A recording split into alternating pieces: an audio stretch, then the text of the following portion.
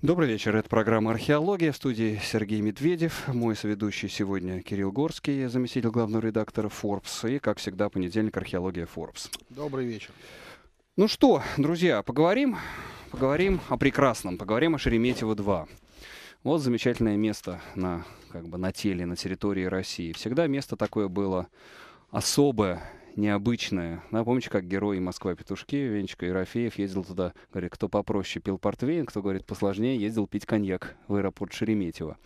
Я в свое время э, со своей стороны также помню в 80-е годы, когда он уже был построен, и э, Туда ездил знакомый журналист-международник в перерывах между своими, так сказать, зарубежными командировками нюхать запах красивой западной жизни. Там был кофе, там были хорошие сигареты, там был западный парфюм. В общем, аэропорт Шереметьево, аэропорт Шереметьево некий такой гейтвей, да, ворота в большой глобальный мир. Я думаю, далеко не случайно, что сейчас в этом аэропорте происходит такая вот э, история из жизни глобального мира. Там сидит Эдвард Сноуден в совершенно непонятном положении. Человек, вне границ, человек вне территории, человек вне каких бы то ни было национальных юрисдикций. И вот эта вот коллизия со Сноуденом, кто он такой? Он вообще романтик э, эпохи Викиликс или он банальный предатель? Что нам делать со Сноуденом? Как нам быть с этой системой глобального слежения? Беспокоится ли нам по его поводу? И самое главное, какие выводы из всей этой ситуации сделают российские политики? Вот об этом обо всем хотелось бы сегодня поговорить в нашем прямом эфире. Наши э, гости, э, ну, гость, вернее, один, ведущий мой Кирилл Горский, как я уже сказал. И э, второй гость у нас Андрей Солдатов, э, главный редактор сайта агентура.ру. Да, Андрей, правильно? Добрый, добрый ну, вечер, так. да. Да, это ваш э, сайт, он, э, собственно, вопросами шпионажа, разведки занимается? Исключительно. Исключительно. Ну, так сказать, значит, у нас вы попали в хорошее, в правильное место. Значит, у нас очень хороший специалист. Ну, так вот, э, что делать со Сноуденом? Это ситуация практически безвыходная на данный момент момент. Вот примерно как Ассанж завис уже, что, больше года в эквадорском посольстве в Лондоне. Точно так же у нас перед нами будет какая-то такая длительная история с зависанием Сноудена. Ну, поскольку такое ощущение, что даже в Кремле а, существуют две точки зрения, и не очень понятно, какая точка зрения победит, то ли а, победят политики, которые хотели бы, чтобы Сноуден куда-то уехал, а то ли победят а, люди из спецслужб, которые, очевидно, хотели бы, наверное, а, более тесно с ним познакомиться. Поэтому эта воз... ситуация вполне возможно будет развиваться еще долгое время. Ну, э, какие э, телодвижения с вашей точки зрения, сейчас может предпринять Россия? Как я понимаю, Россия пока устами Путина так все достаточно э, выжидательную позицию заняла. Ну, если а, верить тем заявлениям, которые были сделаны сегодня, стали известны о том, что Сноуден а, подал то ли 15, то ли одно заявление, просьбу о политическом убежище, включая а, Россию, то, конечно, а, России придется ответить каким-то образом на это заявление. И напомню, что министр иностранных дел Лавров а, заявлял в свое время, что они готовы рассмотреть это заявление. Ну, посмотрим, какой будет результат. Вот если вернуться буквально на неделю назад, я когда готовился к этому эфиру, я просто пересмотрел э, события, которые происходили. Меня удивило, что, оказывается, я не мог себе это представить, что Сноуден вообще появился в медийном пространстве, ну, одновременно с своим появлением в Гонконге, 23 э, июня, всего неделю назад. У меня было ощущение, что э, все это тянется уже минимум месяц, такова плотность событий, информации, заявлений вокруг него. Это человек, который взялся как-то из ниоткуда, э, и вокруг него э, сразу начало происходить огромное количество событий. А вот сейчас что мы знаем о том, кто такой, собственно, Сноуден? Кто этот человек, откуда он взялся, чем он отличается или чем он похож на Ассанжа? Ну, на самом деле, в этом огромная проблема, потому что он, в принципе, ничем не похож на Ассанжа. Он, о, в отличие от Ассанжа, он является кадровым а, офицером сначала одной разведки, потом другой разведки, а потом он работал как военный контрактор на ЦРУ. А, Ассанж никогда не был частью спецслужбы. И кроме того, есть еще одна большая разница между ним и Ассанжем. Ассанж все время делал заявление о собственного имени. А, и он, собственно, произносил основные э, угу. тексты. А то, что происходит со Сноуденом, вот вы абсолютно правы, неделю мы слышим о Сноудене, только мы не слышим самого, самого Сноудена. Мы слышим его папу, мы слышим представителей Wikileaks, мы слышим официальных лиц самых разных стран, но только его голоса а, не слышно. Даже фотографий, даже вот лица ничего. Какое-то удивительное да. совершенно ощущение, такой человек без свойств, вот как у Музиля есть такой роман «Человек без свойств».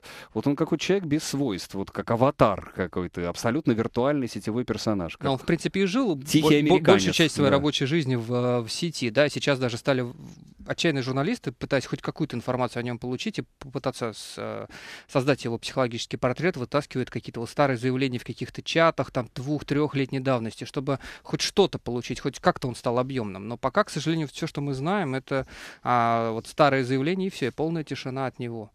Ну, вот, да, а, я обратил внимание такое громкое его заявление. Я готов пожертвовать всем, а, потому что не могу со спокойной совестью позволить правительству США нарушать приватность, свободу интернета и основные свободы людей во всем мире с помощью громадной системы слежки, которую они втайне разрабатывают. Да? То есть, вот, это из, из его интервью Гарзин, насколько я понимаю, единственного или... И очень старого уже. И очень уже старого, моменту, да? да. Вот, что, что, что, что еще? Что, э, что еще он сказал миру? Ну, по, по большому счету и ничего. А, периодически какие-то документы от его лица публикуются в разных газетах. Последняя публикация в Шпигель. Опять мы даже не знаем, на самом деле, он ли а, решил именно сейчас опубликовать эти материалы, или он передал весь пакет документов Ассанжу, и там уже Wikileaks решает, когда и что а, выдавать разным изданиям. Поэтому, по большому счету, а, его месседж мира, он неизвестен. Ну, э, принято считать, что когда происходит э, какой-то такого рода скандал или событие, то э, ну, часто ищутся какие-то там кукловоды, ищутся кому выгодно. А вот, ну, вот в этой ситуации э, что можно предположить? Это действительно кто-то дергает за ниточки, или это какая-то совершенно спонтанно сформировавшаяся такой, ситуация? Да-да-да, такой типично российский Не надо вопрос. искать сценарий там, где имела место глупость. Вот еще есть такая такой механизм объяснения многих событий. Кто за ним стоит? Стоит ли?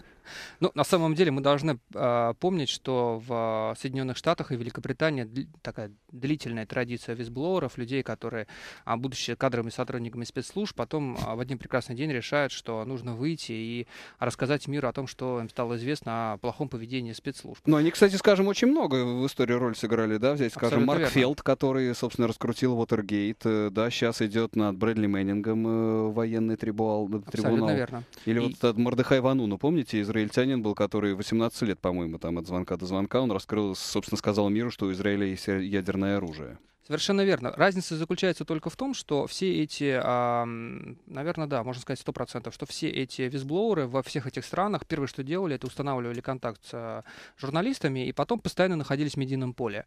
А что происходит со Сноуденом, это совершенно другая история. Мы имеем дело а, с историей какого-то виртуального мира. Это новый этап, когда Сноуден а, отказывается контактировать с журналистами, даже тех изданий, куда, собственно, он передавал материалы, а, имеет контакт, видимо, только с Wiki Wikileaks, а при этом не на Wikileaks были опубликованы его материалы.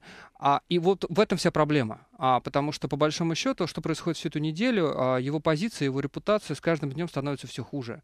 Потому что вместо того, чтобы быть окруженным журналистами, сидеть эту неделю, а, давая пресс-конференции, он сидит а, непонятно где, и все сложнее сказать, а, отвечая на, на, на обвинения американцев, что нет, он не а, находится под контролем там, ФСБ или СВР. Да? Сейчас это уже практически невозможно сделать. А еще неделю назад можно было говорить о том, что он просто вот прилетел в страну, которая... Ну да, борец за свободу, он публично, ну, по крайней мере, как Ассанж хотя бы поступал в этой ситуации.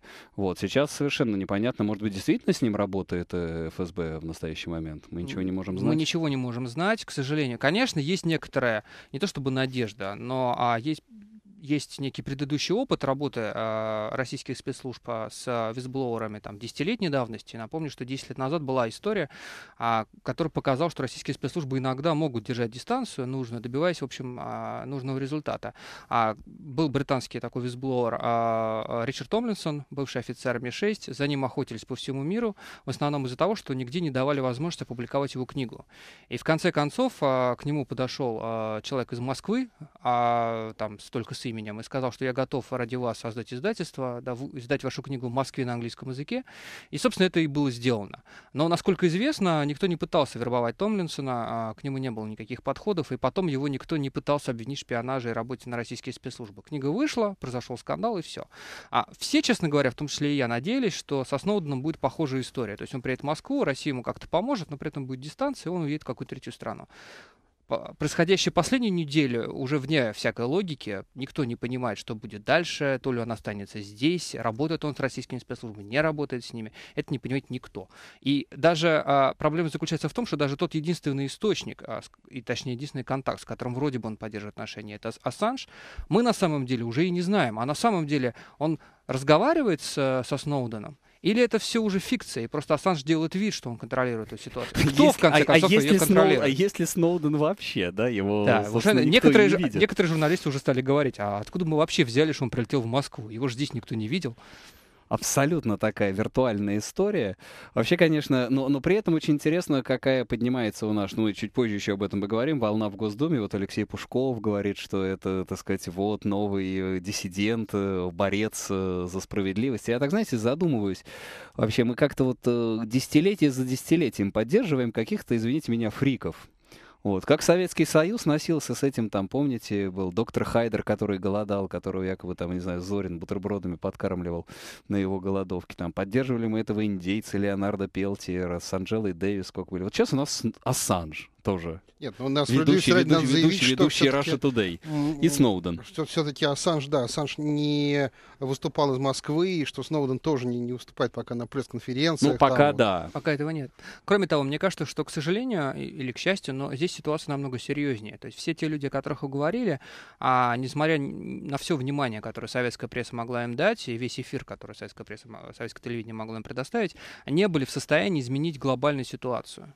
А то, что может сделать Сноуден и может сделать скандал вокруг его разоблачения, это действительно изменить глобально, причем глобальную игру вокруг того, как вообще интернет управляется. И а, в- этом смысле а, разоблачение Сноудена крайне выгодно и Москве, и Китаю, потому что а, как раз в, в конце прошлого года Москва и Китай а, и Пекин выступали с, а, с инициативами о том, что нужно изменить, а, сделать интернет более суверенным, менее зависимым от американской гегемонии. И тогда уже, хотя предложение провалилось, 89 стран поддержали российско-китайские предложения. И теперь вопрос заключается в том, что если вдруг сейчас поставят вновь эти предложения на голосование, сколько стран поддержит? Явно больше 89. 89 это вообще это, это, По ООН, миру. это ООНовская Да. организация. То есть Да. там практически почти 200 стран представлены. да, да, не 100, поддержала только 190. Западная Европа, Канада, США, Австралия. А, Мгм. а сейчас, учитывая позицию Германии, которая крайне возмущена тем, что происходит, позицию других европейских Сейчас стран. Брюссель сегодня, последние новости, очень возмущен Брюссель тем, что вот сейчас Мартин Шульц эту тему, он такой известный, он левак же, такой антиамериканист известный, как же, так же, впрочем, как такую антирусскую позицию он занимает. Вот, и он очень сильно раскручивает эту тему, Собственно, вся история со объяснений. Сноуденом ударила именно по точке, точке зрения европейских политиков. Да, Да, И абсолютно по России, верно. и по Китаю, именно по европейцам. Да, но главное, что мы можем прийти к таким а, национальным интернетам в результате. То есть будет французский, немецкий, а главное китайский, русский интернет. И все это будет потому, что все мы будем бороться с гегемонией США. Ну вот с другой стороны, я пытаюсь понять, а насколько, как бы вот sensitive, да, насколько важна эта информация. Ну, ну и что, ну слушали они, что там, я не знаю, Евро-тройка между собой говорила. Вы знаете, прямо, я не знаю, секреты э, мадридского двора. Э, Ну, как бы качество той информации, которую, в общем-то, и Wikileaks слил, и качество той информации, которую Сноуден слил. Ну да, ну вот Google там передавал информацию обо мне, ну дальше что? Мне кажется, что вот э, здесь больше такой шок value, да, такой шоковый эффект того, что, боже мой, большой брат за нами следит. Но если разобраться, то э, стратегическая глубина этой информации это не то, что там кто-то обладает ядерным оружием, кто-то обладает, э, я не знаю, уникальным химическим оружием. Понимаете, я бы разделил информацию, которую слил а, Сноуден, на две части. Одна часть, вы абсолютно правы, это, в общем, а, секрет Полишинеля, что а, американские спецслужбы пытаются а, осуществлять систему глобальной слежки. Господи, это секрет 47 года известен, когда впервые Да. появилась первая, а, первая информация о том, что вот ну, соглашение о глобальной, о создании глобальной системы перехвата электронного. Но вторая часть информации, она намного более серьезна. А касается она того, что скомпрометированы не американские спецслужбы, а скомпрометированы американские глобальные сервисы. Это речь идет о Гугле, о Фейсбуке, о Твиттере, о Оле, о, о Скайпе там, и так далее, и так далее. Вот с этим огромные проблемы, потому что они на самом деле находятся сейчас под ударом во многих странах, а, где, в общем, а, власти считают, что надо бы контролировать интернет пожестче. И именно эти сервисы представляют для них угрозу, потому что они не подконтрольны.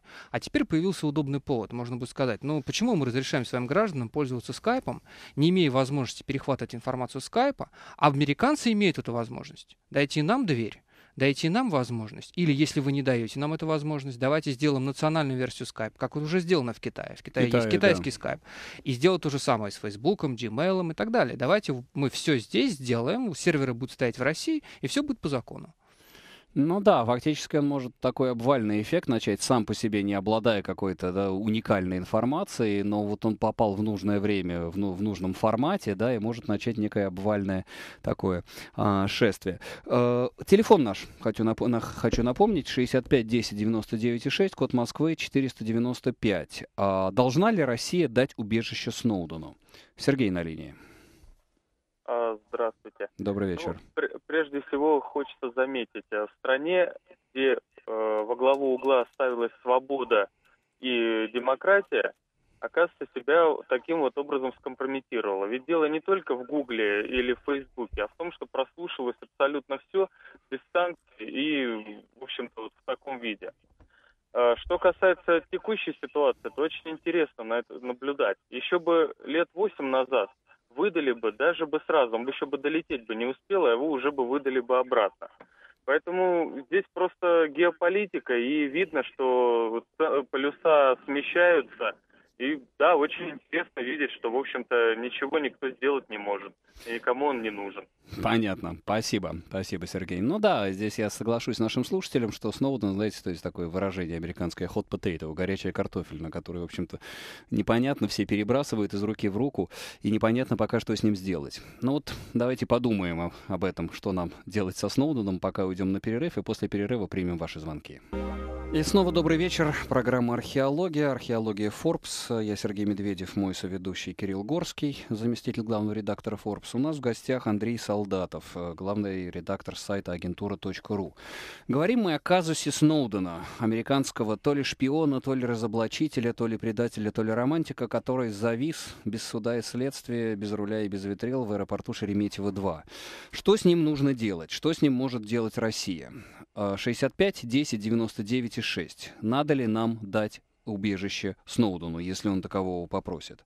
65 10 99 6. Код Москвы 495. Э, ну вот, я хочу вернуться к вопросу о том, э, насколько э, шокирующими являются разоблачения Сноудена, что мы все находимся под э, колпаком у большого брата, и то, что крупнейшие интернет-сервисы, такие как Facebook, Google, э, Twitter, сотрудничают. Это ведь э, давняя традиция, собственно, они никогда не были такими поборниками поборниками свободы и демократии, как я понимаю. Они и с китайцами сотрудничают, и с российскими властями. Ну, у них долгая история, а периодически они пытаются уйти от этих обвинений. И напомню, что пару лет назад а, почти все крупнейшие компании, ну, включая даже Microsoft, стали опубликовать такие Transparency Reports. Это данные о статистику запросов из разных стран, о правоохранительных запросов, о, о раскрытии какой-то информации или о том, чтобы они там убрали какой-то контент. И многие люди во всем мире приветствовали это как а, явное движение в сторону а, прозрачности и защиты privacy своих, а, в общем, а, своих пользователей пользователей. То, что получили сейчас, это получается, что все это было абсолютным э, лицемерием. И вот это тоже, конечно, шокирующая информация.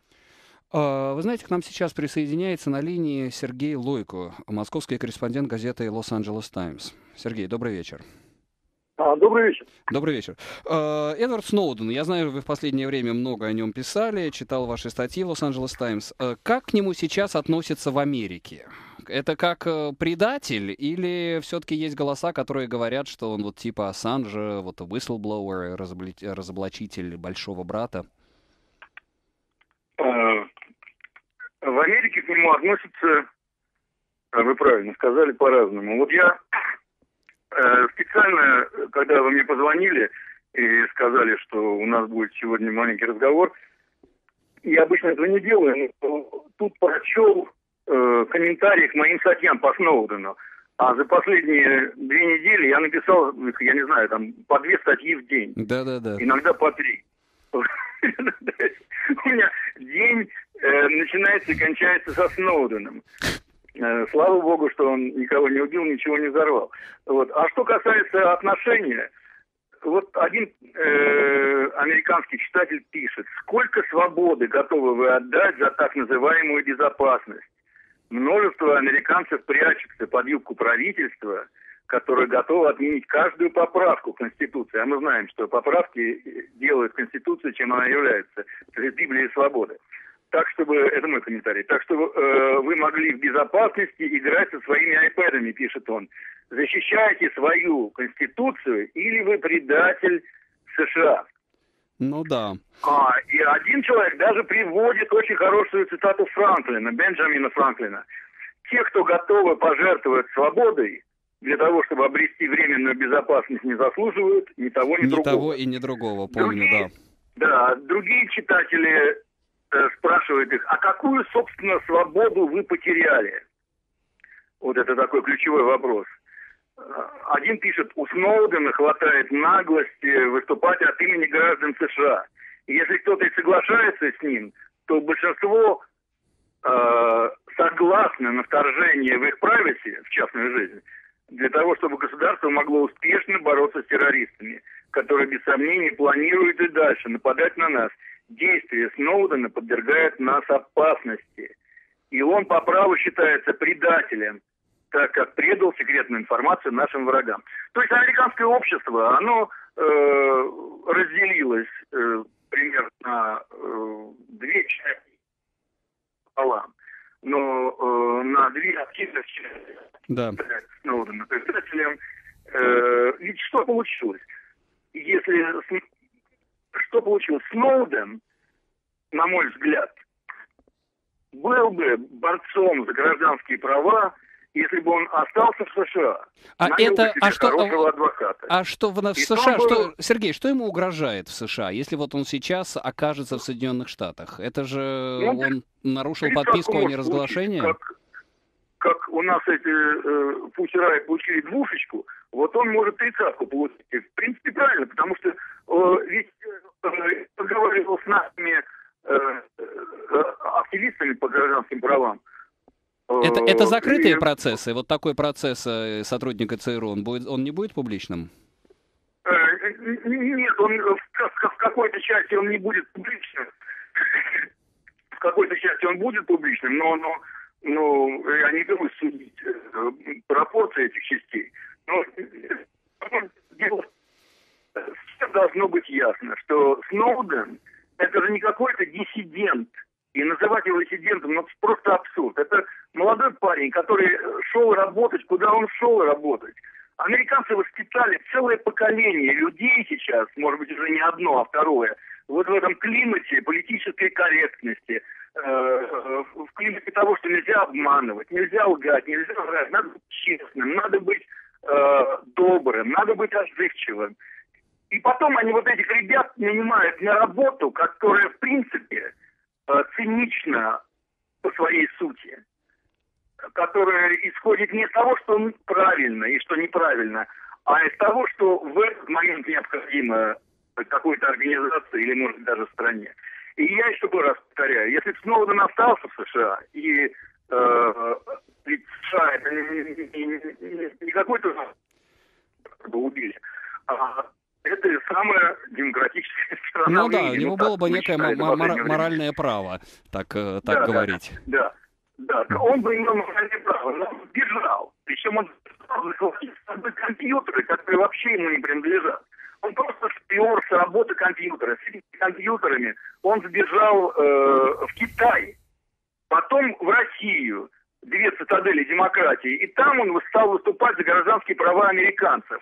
Вот у большинства американцев, а, мне кажется, что их большинство, есть серьезные основания поэтому именно считать Сноудена предателем. Потому что кончилась холодная война, не кончилась. Мир в головах многих людей, в том числе американцев, разделен на друзей и врагов. Вот Россия и Китай, что касается шпионажа и всего остального, это враги США, по крайней мере, не друзья.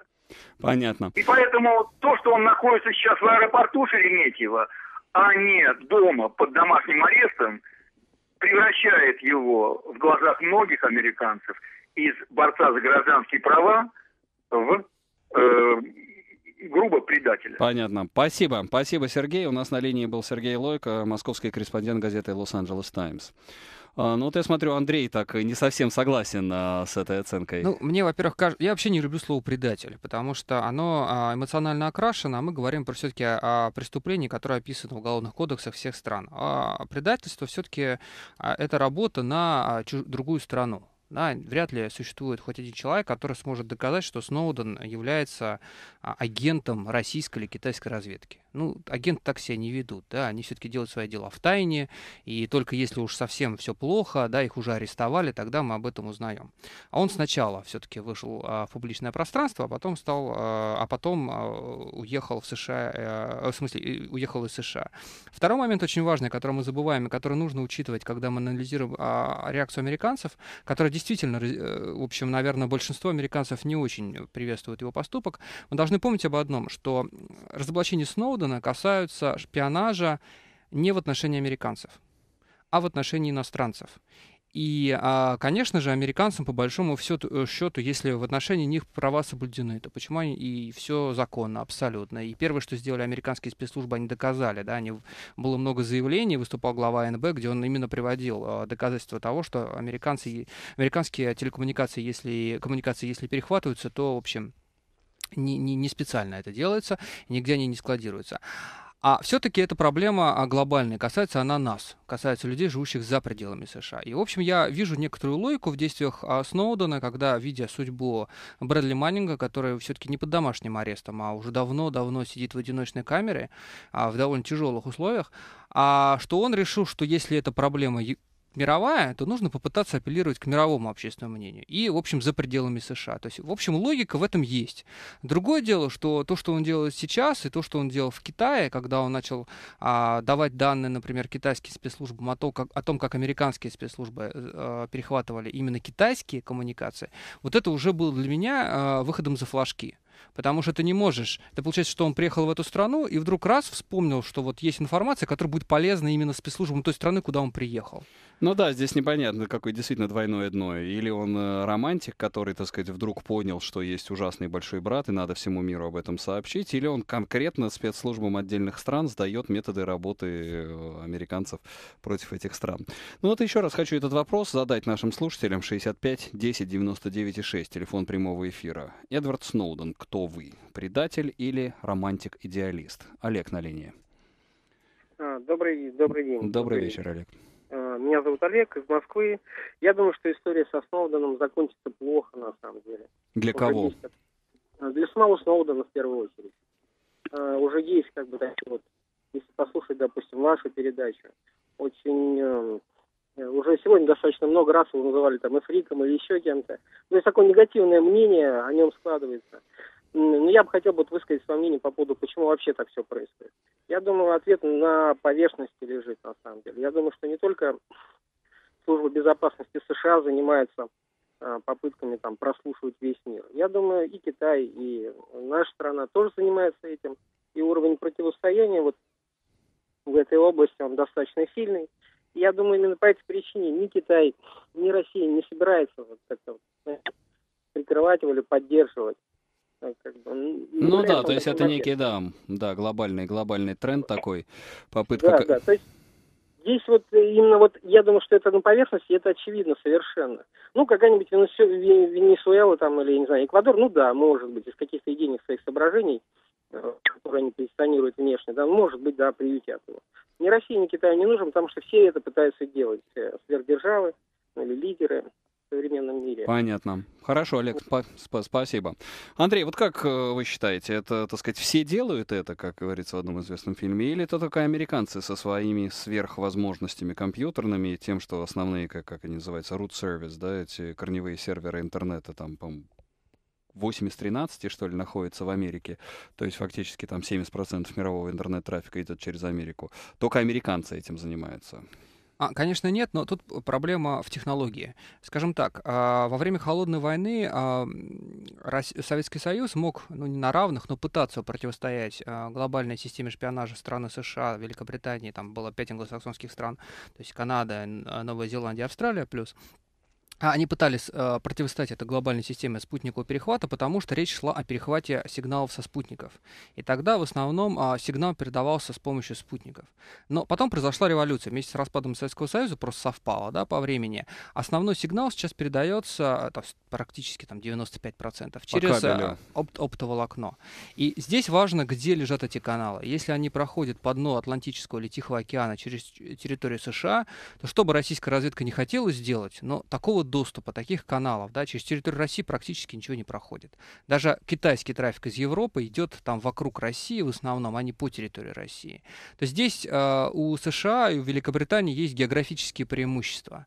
Поэтому Россия, да, пытается что-то делать в этой области, но, конечно, уже давно не является конкурентом. Российский-то трафик в Европу а, гонится через Скандинавию, тоже находится, да. в общем, под контролем натовских структур, как известно. Поэтому, в общем... Ну, а с другой стороны, вот я что думаю, Андрей, а насколько действительно это все вот опасно. Потому что я понимаю, что как бы большие ребята, там серьезные ребята играют войнушку, осваивают огромные бюджеты, есть вот эти специалисты, да, мы подкопались под кабель, мы попали, поймали там микрорезонанс какой-то, все это, так сказать, ловим. Ну и что мы узнали? Вот я не знаю, даже вот э, то, что американцы, вот сейчас этот они огромный дата-центр в Юте, по-моему, заканчивают строить, да. вот Агентство национальной безопасности, я узнал впервые слово зетабайт. Там, значит, будут храниться эти зетабайты информации они перехватывают, значит, как я понимаю, около двух миллиардов телефонных разговоров и имейлов в день. И вот чего они с ними будут, с этими двумя миллиардами делать? Потому что я думаю, что существует как бы у тех же террористов настолько более глубокие структуры коммуникации, тот же Андернет, глубокий интернет, у них свои закрытые чаты, свои системы шифрования. То есть мне кажется, что невозможно чисто физически справиться с такими объемами информации. Абсолютно правы. То есть для них является большой проблемой то, что, во-первых, они не могут а, справиться с этим объемом а, информации, во-вторых, а, этот объем постоянно он собирается, во-первых, не единожды. Один тот же звонок перехватывается на разных узлах, а, да, то есть информация просто имеет свойство разбухать. Плюс мы там одну информацию снимаем с телекоммуникационных узлов, другую инфор... ту же самую информацию мы снимаем потом с сервера, не знаю, Gmail или Facebook. Все это складируется в одном месте, в трех, в четырех, пяти экземплярах. Все это, конечно, гигантский объем, анализировать это тяжело. Кроме того, террористы, на самом деле, поскольку они довольно ловкие ребята, они используют уже системы, которые с обычными способами даже делают здесь не в шифровании. Сейчас последняя мода, но она уже длится, по-моему, последние года полтора, это использовать в качестве средства сообщения между террористами. Раньше они использовали такую корпоративную лексику. Там не встреча, а митинг, там не обсуждение теракта, а обсуждение сделки. А известный факт, вот 11 сентября они именно так планировали. А последние два года они используют игровые сервера. Очень удобная вещь. Огромные тысячи, десятки тысяч людей в этом участвуют. А главное, терминология как раз та, что нужно. Взрывы, подрывы, да. там, автоматы, пистолеты, там, какой-нибудь э, Call of Duty использует всю ту же самую лексику, которая нужна террористам. И ничего американские спецслужбы сделать с этим не могут, потому что тут нечего расшифровывать. И зная историю с бостонскими э, взрывами, мы, в общем, понимаем, что даже имея некая, не, некий, некую возможность проанализировать а, онлайн-активность одного и, там, и второго брата, брата, а, в общем, американские спецслужбы ничего не смогли сделать. То есть вы правы? Ну да, то есть по сути я понимаю, что это какие-то, видимо, просто такие бюрократические корпоративные задачи, которые решают спецслужбы, кладут доклады на стол руководства. Получают новый бюджет? Да, получают и осваивают бюджеты, но для глобальной безопасности, даже когда Америка, да, в таком, так сказать, вот этом состоянии постоянной боеготовности после 11 сентября, при их бюджетах, при патриотическом акте, вот, она не способна предотвратить была бостонские теракты. Но так или иначе, я думаю, что и китайские власти, и наши власти беспокоит не то, что американские спецслужбы э, могут э, прислушиваться к разговорам Аль-Каиды, а их интересуют как бы более наши насущные проблемы. Ну, там одним из зримых символов последнего пятилетия у нас был Дмитрий Анатольевич Медведев с айпадом в руках. Вот э, то, через что проходит трафик этого айпада, это же ведь, в общем собственно, вещь, которая, наверное, значительно больше интересует.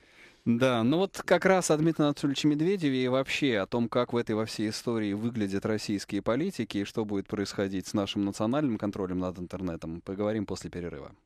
И снова добрый вечер. Программа «Археология». Археология Forbes. Я Сергей Медведев, мой соведущий, заместитель главного редактора Forbes Кирилл Горский. У нас в гостях Андрей Солдатов, э, главный редактор сайта агентура.ру.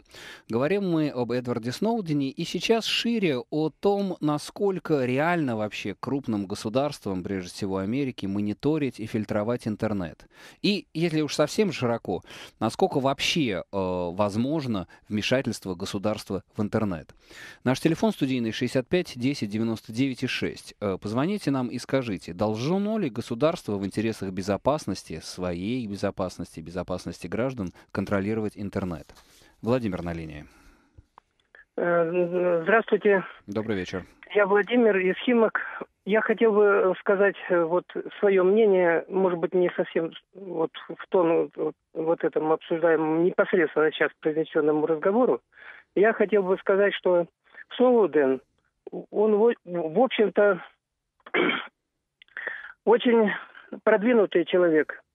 Понятно, что на нем лежит большая ответственность за выполнение своих функционалов, однако что-то его подвигло а, сделать так, как он поступил. Лучше пусть будет много Сноуден вновь, чем э, лейтенантов Коли, которые, вы знаете, отличились в войне во Вьетнаме. Келли, да, Я наверное. Сказать... Да. А? Келли, по-моему, да, который Сангми. Нет, Коли. Сангми. Коли, да? А, ну да, да, Сангми, да. да. Сангми расстрелял, да-да, Коли, да. Вот. Mm. Я хотел бы сказать, э, ну, еще нужно много осознать, э, за, его, за что за его действиями стоит. Однако то, что он совершил, он то, что совершил, то совершил.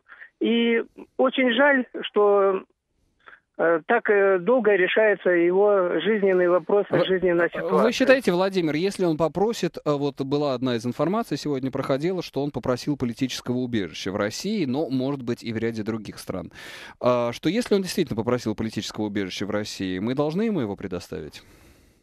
Да, я хотел бы еще, вот, ну, уже не первый день обсуждается вот все, что с ним связано. Я хотел бы сказать все-таки я придерживаюсь того мнения, которое сейчас уже прозвучало в эфире, что его предателем никак нельзя назвать. А, Понятно. Потому что потому что он вот э, заявил это на весь мир, можно сказать. Понятно, понятно. И э, хотел бы сказать, почему такая великая, могучая держава, как наша Россия, не может принять этот э, шаг, пойти навстречу, не оглядываясь, не озираясь, и поступить так, как э, нужно поступить. Ясно, а... Владимир, спасибо. Ну вот поступить так, как нужно поступить. Но мне кажется, что последствия, если Россия пойдет на такую конфронтацию, все-таки будут достаточно серьезные для российско-американских отношений. Вы знаете, это сложный вопрос, потому что а, после боцинских терактов а, американская администрация делала столько а, пассов в отношении российских и, и, и спецслужб, и Кремля, выражая готовность сотрудничать по всем направлениям, потому что приближаются Олимпийские игры, и на них приедут в том числе американские граждане. И теперь нужно там в 10 раз увеличить в общем, возможности по предотвращению возможных террористических атак и так далее, и так далее, что я не уверен, что на самом деле американцы уже очень сильно а, будут давить на Кремль. Другое дело, что если речь пойдет, как вот я говорил в начале, о пересмотре глобальных правил управления интернетом, и если действительно будут какие-то перспективы а, для того, чтобы это решение, э, эта российская инициатива а, будет принята, тогда да, это будет уже серьезная битва. Но пока я не вижу таких, честно говоря, возможностей. Что глобально вообще может произойти? Предположим, вот это вот, как он называется, международный союз электросвязи. электросвязи. Да, да. если вот пройдет это решение о, о большем национальном контроле над интернетом. Что, а что, что возможно? Что все серверы будут э, по своим национальным скворечникам, что ли, рас, рассажены? Ну, возможно, будет, да. Я думаю, что они будут двигаться по... А, в общем, все решения в этой области, к сожалению, придумываются в одной стране, это Китай, и у них есть два решения. Да? Одно решение — это а, разрешать пользоваться глобальными сервисами только до того момента, пока не создан национальный аналог, а, и второе это разрешать пользование э, глобальным сервисом, но а, с тем, чтобы он был национализирован, то есть он а, имел свои, свои серверы а, или на территории Китая, или они должны быть прозрачны для китайских спецслужб. И я думаю, что такое решение, что-то такое паллиативное, может быть интересно российским спецслужбам. Собственно, то, что заявляли а, российские депутаты и сенаторы последние там, пару недель, они вот что-то похожее а, они озвучивали особенно, конечно, депутат Железняк, он, собственно, и говорил, что надо там защитить э, частное пространство российских э, пользователей и приземлить сервисы вот где-то в России. Серверы, то есть серверы, на которых информация по российским да, гражданам должны находиться на территории Но России. Они могут говорить об этом, можно, например, дойти же до чего, можно сказать, что почему у нас Gmail а, доступен в домене .com, пусть будет доступен до имени .ru, да, как Google. Мы же заходим, когда на Google, попадаем на Google.ru. Вот пусть все, что у нас в зоне .ru, пусть будет хоститься в России. А если это хостится в России, то согласно закону а, должны быть обеспечено а, существование системы оперативно-розыскных мероприятий, то есть бэкдор.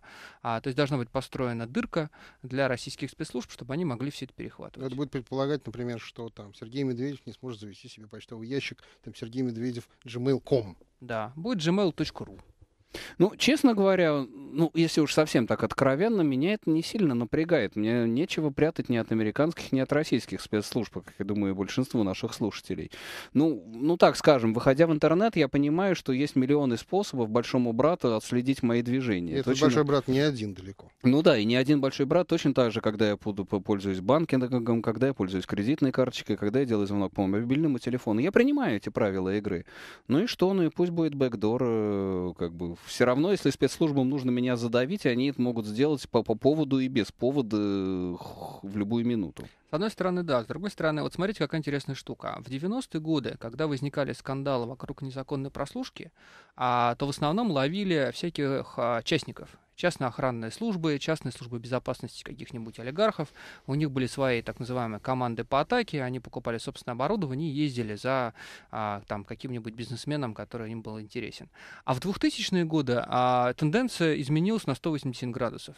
И во всех скандалах, подчеркиваю, во всех, которые нам известны, ловили все время какого-нибудь коррумпированного сотрудника милиции, а, со, а, соответствующего подразделения, а, который отвечал за прослушку государственную, и он продавал ее результаты на сторону. То есть проблема заключается заключается в том, что э, а, еще заинтересуются вами спецслужбы или нет, вы не знаете. И, в общем, нужно что-то сделать специальное, чтобы они вами заинтересовались. А вот, например, что эти же спецслужбы э, из-за коррупции продадут результаты ваших там переговоров, вашу почту, вашу банковскую информацию куда-нибудь налево, вот это очень возможно. И вот что с этим делать, по большому счету, никто не знает. Ну да, здесь, конечно, специфический российский э, флер, э, так сказать, колер вот этой самой проблемы с, кор- с коррупцией, как это, да. И сейчас вроде как этого нет, но я помню еще пару лет назад, там где где большие пробки были, ходили люди с компакт-дисками, да. так сказать, и предлагали вот эту всю информацию на компакт-дисках вместе с фальшивыми часами, букетиками ландышей. И, это вот... и э, постоянно утекали базы данных а, мобильных переговоров, там, да, двух, да, да. или всех провайдеров даже. Все продавалось просто с рук. 65 10 99 9,6. А боитесь ли вы, что государство будет контролировать интернет и все ваши переговоры и имейлы? Сергей на линии. А, здравствуйте. Добрый день. Знаете, у меня двойственное чувство. С одной стороны, я абсолютно согласен вот э, с высказанной вами мыслью о том, что ну о чем мне бояться простому человеку, да, я не интересен для спецслужб. С другой стороны, я переживаю, что действительно, э, где гарантия, что не появится еще один такой же товарищ, да, который по какой-либо причине сольет информацию обо мне, которую имеют те же спецслужбы, по своим каким-то причинам, непонятно кому. И эта информация станет доступна общественности. Здесь, мне кажется, стоит вопрос в ответственности государства, если оно контролирует, за сохранность этих данных и за неиспользование ее третьими лицами. Вот это больше всего беспокоит. Понятно. А не то, что меня государство угу. будет контролировать. Пусть контролирует. Ну да, спасибо, Сергей. Здесь действительно такая российская проблема в том, что не, неизвестно, если все это национализировать, эти данные, они будут на российских серверах, так может быть и на российских-то, учитывая нашу коррумпированность силовых органов, они и менее сохранны будут. Более, что у нас, как и в Америке, все это растет по экспоненте. То есть, если там они постоянно строят новые дата-центры и так далее. То есть, в общем, похожая история происходит у нас, только еще, скажем, надо умножить на два. То есть, у нас еще а, увеличивается количество служб, которые имеют право этим заниматься. Например, а, еще в начале 90-х было принято, что да, у нас есть много субъектов оперативно-розыскной деятельности, но систему технически, вот, вот прям вот физически строил ФСБ. И потом приходили люди в ФСБ, да, там из этих других смежных служб, просили перехватить там телефонный переговор какого-то человека, и ФСБшники для них это делали, им отдавали. Что происходит последние там 5-6 лет? Это то, что все эти, практически все субъекты, включая даже, например, а, службы по исполнению наказаний, они сами строят свои параллельные системы прослушки и закупают эту технику, мы это наблюдаем по сайтам там типа закупки.gov.ru и устанавливают везде, где только можно.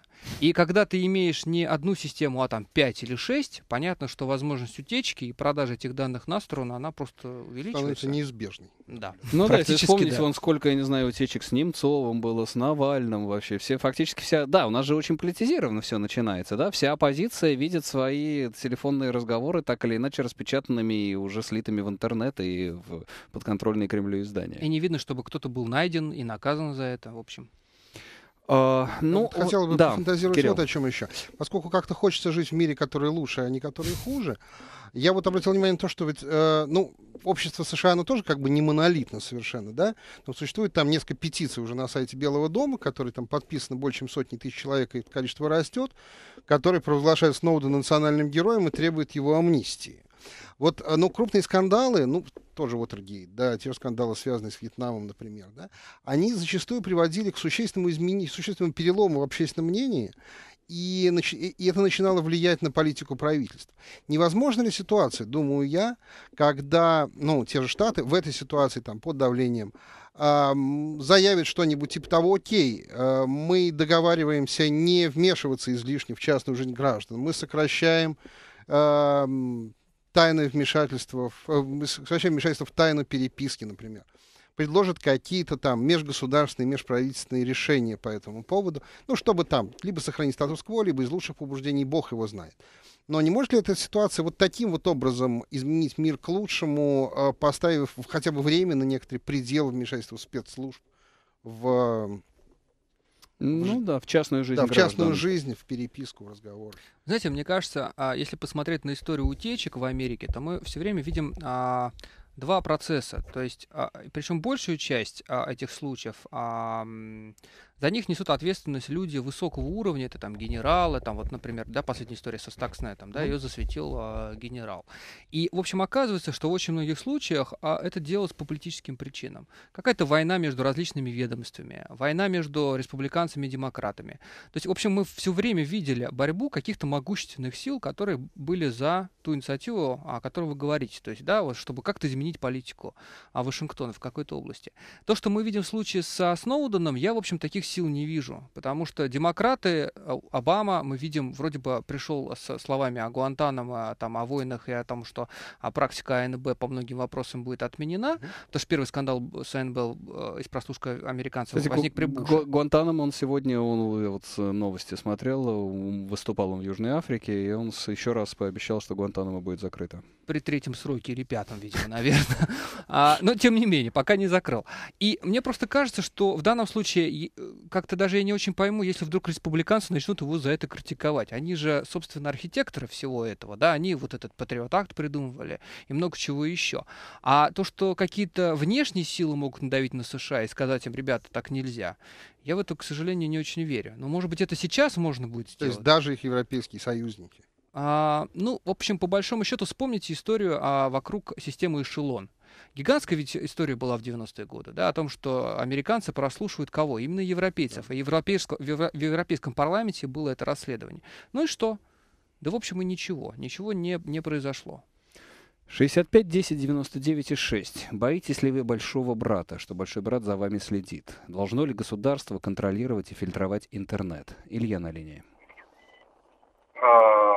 Да. Алло, здравствуйте. Добрый вечер, Илья. Ну, мое хочу поделиться своим личным мнением. по Только ра- ради- радио приглушите, и будет вас лучше слышно. Алло, Да-да. э, я считаю, что Сноуден все-таки предатель. Так. Вот. Э, Второе, разведки всегда интересовали, всегда получали информацию всеми правдами и неправдами, это их работа.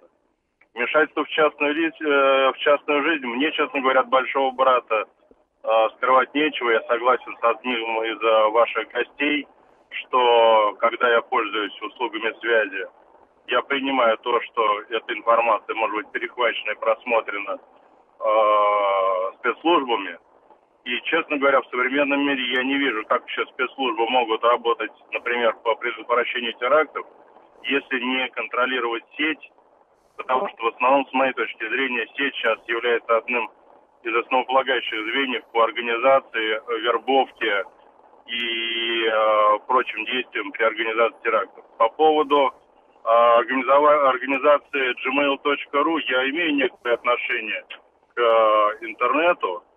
Э, Мне кажется, во-первых, все это частные компании, как их можно обязать делать свои сервисы э, эм, в России и э, давать э, спецслужбам э, доступ к серверам э, иностранным, хотя основная юрисдикция компаний в Соединенных Штатах я не очень себе представляю, как. Мне кажется, это путь к изоляции.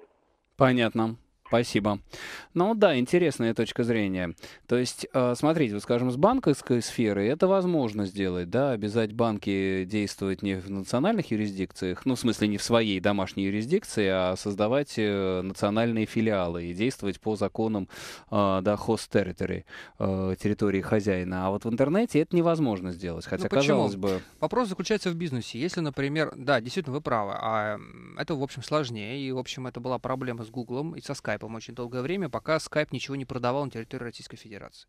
Но как только Skype стал э, принадлежать Microsoft, а Microsoft огромный рынок в России, прежде всего корпоративный и государственный, э, пошли слухи очень упорные, что Skype теперь уже не столь безопасен, как был там еще пару лет назад. Потому что если вы продаете продукты в России, вы должны учитывать мнение э, соответствующих структур в этой стране. И это происходит повсеместно. Поэтому я думаю, что, к сожалению, в общем, можно попытаться их обязать, а шантажируя их тем, что они будут терять российский рынок. И вопрос только в том, насколько ценен для них этот рынок. Это происходило с Китаем. Ну, понятно, что китайский рынок намного более ценный, чем российский. Да? Может быть, только это может быть нашей некоторой надеждой. Но Посмотрим. Нет, ну смотрите, сейчас же заходит, Amazon зашел в Россию, уже будет торговать, eBay, eBay уже. зашел, да. Да, и я думаю, что по мере интернетизации России это будет все более ценный рынок, и они все больше будут готовы работать с российскими спецслужбами. А, хорошо, это вот э, э, российские спецслужбы. А если в смысле в то, как западные сервисы идут на требования российских спецслужб, а у нас внутри вот то, что вот требует там Гатаров, например, что у нас будет национальное ПО на основе открытого кода и так далее. Насколько возможно создание вот этого вот суверенного российского интернета? Ну, а попытки предпринимать уже последние сколько, года три, наверное, да, Кирилл? Я да? думаю, что даже больше. Попытка национальная... Национальная операционная система, по крайней национальная мере. поисковая машина. Национальная а... поисковая машина даже уже, по-моему, год два назад пытались как-то. Да, национальная вообще, почта. Вспоминая опыт ГЛОНАСС... Ну, говоря, конечно, все это можно создать. Другое дело, что это будет отставать от там, мирового интернета, от интернета развитых стран. Там сначала на 5 лет, потом на 10 очень быстро. Вот. Но это можно сделать, но просто это затормозит развитие информационных технологий в стране, поэтому пойдут ли на это? Ну, слушай, ну это системно хочу задать вопрос. Все-таки, а кому реально принадлежит глобальный интернет сегодня? Американцам ну, в общем, мы должны смириться с этой идеей, да, что и с, с точки зрения а, передачи сигнала, да, вы правильно сказали про роутеры, но и с точки зрения инфраструктуры, и с точки зрения, э, с точки зрения сервисов, они все находятся на территории США. Потому что все глоба- глобальный интернет завтрашнего дня, он, собственно, весь разрабатывается в Калифорнии. Абсолютно верно. И противостоять этому не, нельзя, да и, наверное, не нужно. Это Или невозможно как, противостоять, как вы потому считаете, что, опять же, интернет Нужно ли этому противостоять? Создается там молодыми программистами, которые э, ну, которые уезжают в эту Калифорнию, как только у них появляется эта возможность, потому что там у них наибольшие возможности для творчества. Это делают ведь не спецслужбы это делает экономика, это делает, это делает открытое рынок. общество, рынок, институты и так ну, далее. Ну, грубо говоря, давайте, ну, можно признать, что, собственно, немцы, нравится, не нравится, ну, делают лучшие машины, да, э, на, за последние ну, там сто лет, да. лучшие автомобили. Но вот давайте мы встанем в позу и говорим, нет, нехорошо немцы давайте мы автом- монополию на автомобили, давайте мы их обяжем локализовать, их Google, версии. Google был, не был создан агентством национальной безопасности, его создали там двое стартаперов, один из которых, более того, русский. Э, да. в Калифорнии. Да. Частный проект. Потом, вы знаете, мне, честно говоря, всегда хочется посмотреть а вот на, на привычку, на, на, на привычки, на то, как они, на их а, внутреннюю культуру, как они все это делают. Я очень хорошо помню, как год назад я присутствовал на одной а, конференции по информационной безопасности здесь, в Москве, и там говорили о том, что нужно системы телекоммуникации строить с учетом прослушки. Вот мне кажется, что такие системы, может быть, и будут хорошо прослушиваться, только работать они будут плохо. А вот Google, например, долгое время в Вашингтоне отказывался открывать бюро, потому что они считали, нафига нам нужно вообще государство, нам нужно делом заниматься. Мне их подход кажется немножко более эффективным. Может, ну, поэтому да. Google у них, а не у нас.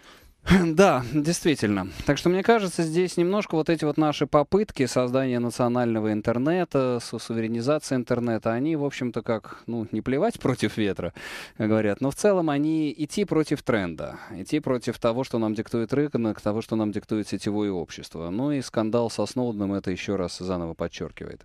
Ну что ж, друзья, я благодарю вас, что участвовали в этой передаче. Они, к сожалению, не смогли принять все звонки. Ну, я думаю, будут еще возможности. Это была программа «Археология». У нас в гостях гостях был Андрей Солдатов, агентура.ру, мой соведущий Кирилл Горский, я Сергей Медведев. Доброй ночи и удачи.